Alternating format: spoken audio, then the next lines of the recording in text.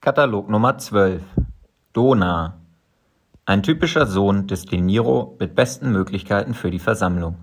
Dona ist ein Dressurpferd, welches sofortigen Erfolg verspricht.